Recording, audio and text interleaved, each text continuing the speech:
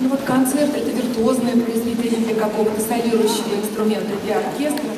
А есть э, виртуозные произведения и такие длинные, как мы говорим, крупная форма. Э, для солирующего инструмента это соната.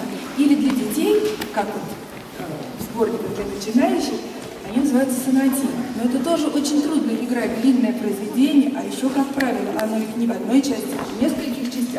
И вот так развивать мысль автора и доносить ее до зрителей, это очень трудно. И поэтому с самых первых шагов э, детей приучают играть вот крупную форму сонатины. И одна из самых известных сонатин э, в педагогической практике это сонатина Муцио Клементи. Я даже думаю, сейчас многие из вас вот кто-нибудь вот, э, обязательно про себя скажет, боже мой, это же я играл, это же то, что я играл. Вот, и э, сонатину до мажор Муцева Клементи, первая часть и третья, исполнит Ирина Александровна Чаплина. Вот первая часть и третья будет звучать, пожалуйста, не надо аплодировать между частями. Ирина Александровна, пожалуйста.